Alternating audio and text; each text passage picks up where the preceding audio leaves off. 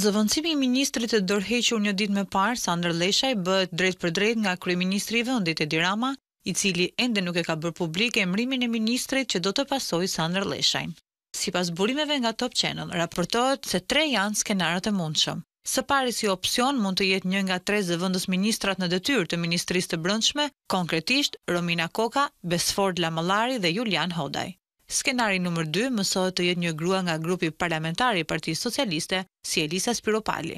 Dhe skenari nëmër 3 mëndohet të jetë antari i Komisionit të Ligjeve, Shametaj ose Arben Pëllumbi, skenar ky që gjanë më opcionin e një emrimit të një personi jo të fort politik, me një background të njashë me atë të Sander Leshajt.